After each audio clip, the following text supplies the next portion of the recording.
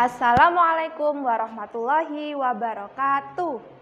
Hai semua, perkenalkan kami dari SD Nurul Faiza Surabaya akan menjelaskan tentang pendidikan anti korupsi. Ayo tahu nggak siapa yang tahu apa itu pendidikan anti korupsi?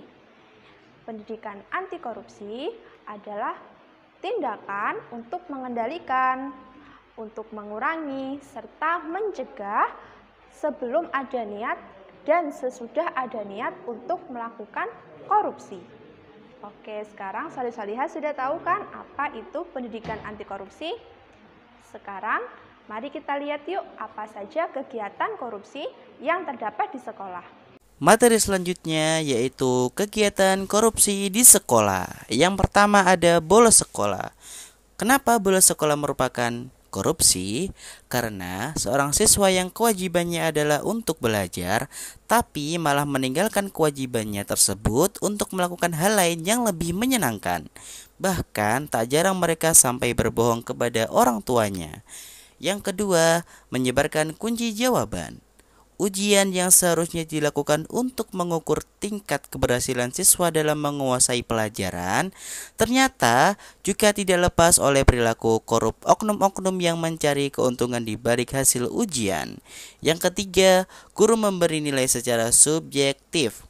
Tak berhenti pada penyebaran kunci jawaban, terkadang guru-guru di sekolah juga memberikan nilai yang sifatnya bukan berasal dari hasil jeripaya siswa itu sendiri melainkan hasil subjektivitas mereka sehingga oknum guru tersebut bisa dengan sesuka hati memberi nilai siswanya.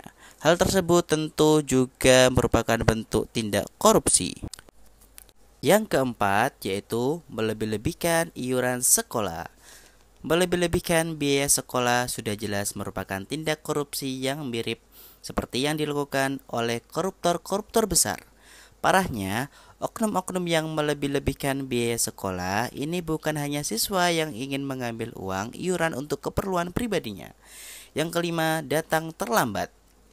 Sama seperti bolos sekolah, korupsi jenis ini juga termasuk ke dalam korupsi waktu. Mirisnya, pelaku dari korupsi ini tidak hanya dilakukan oleh siswa, tetapi juga oleh guru.